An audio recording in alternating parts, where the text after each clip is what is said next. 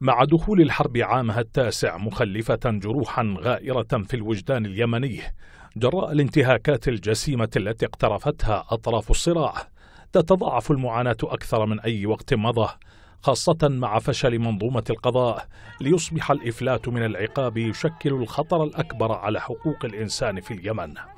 اللجنة الوطنية للتحقيق في انتهاكات حقوق الإنسان.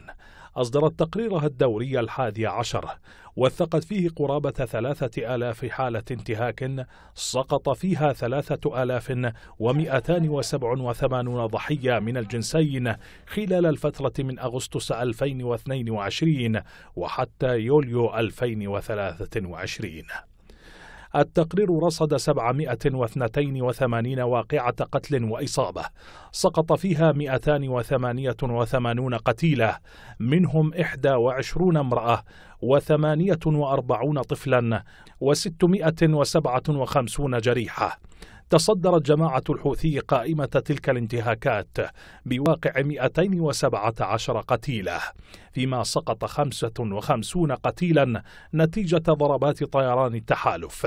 كما انفرد الحوثيون بزراعة الألغام والتي تسببت بسقوط 55 قتيلا بينهم ثلاث نساء وأحد عشر طفلة التهجير القسري والاعتقال التعسفي لا يزال يؤرق اليمنيين حتى اللحظة فخلال الفترة المشمولة بالتقرير سجلت 66 واقعة تهجير قسري و689 حالة اعتقال تعسفي كان لجماعة الحوثي نصيب الأسد من تلك الانتهاكات.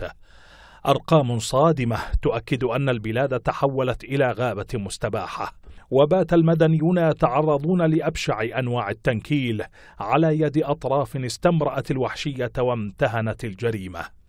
ويزيد من هول الكارثة غياب مؤسسة القضاء وطغيان الميليشيات شمالا وجنوبا ليصبح السؤال عن مسؤولية التحالف في تغييب الدولة في المناطق المحررة لتتضاعف كلفة الحرب إنسانيا وأخلاقيا خاصة مع العبث الإماراتي عبر تحويل الكثير من المنشآت الحيوية إلى سجون سرية تمارس فيها أبشع الانتهاكات.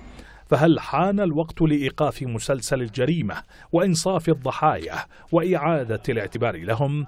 أم إن غياب الدولة زاد المشهد قتامة لتصبح التقارير الحقوقية مجرد صيحة في واد سحيق سحقت فيه العدالة وكبل الضمير وباتت الوحشية متحكمة بتلابيب البلاد شمالا وجنوبا